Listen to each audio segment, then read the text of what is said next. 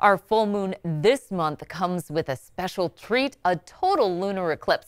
Now we've got a couple of names that are thrown around for the month of May. The flower moon because of abundant flowers that grow in the northern hemisphere this time of year, but also it's called the blood moon. Here's the reason why. We take a look at the sun's rays as they head towards Earth. They get scattered and they're going to form a shadow here. And what's going to happen is Earth's going to, uh, going to scatter out the blue light. The atmosphere will scatter out that blue light, but the red light remains. So again, look at how the moon is going to travel along its orbit. Here's the spin of the Earth. And as that moves around its orbit, it enters into the penumbra with a partial shadow, fully shadowed by the time it enters into the umbra. So it's not going to be a total eclipse all night long. It's only going to have certain hours that we're going to be able to see it. And some of the best viewing, at least access to viewing, is going to be in North America.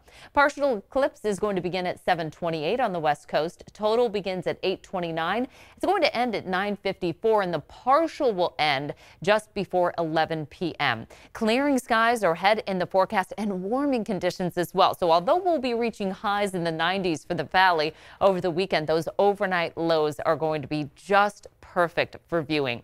If you're headed over to the Bay Area, sunset about 8:15 or so and temperatures staying steady in the mid 50s. We'll see a little bit of patchy clouds forming, but for the valley, it's clear skies, beautiful conditions right around 80 at 8 p.m. 75 at 9 p.m. There's our uh, 10 p.m. temperature at 70 degrees again. Sunset right around 8:15 or so. The foothills, where we get away from that uh, the lights from the city, we should see really glorious uh, skies there. 62 at 8 p.m., 60 at 9 p.m., 58 again clear skies at 10 p.m. Sunsets a little bit earlier at about 8:10 to 8:05.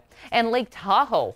Beautiful picture up there as well. Temperatures in the 50s right through our total eclipse and even the partial eclipse. Our sunset right around 8.05. So region wide throughout central and northern California should see some beautiful conditions for viewing that lunar eclipse Sunday night.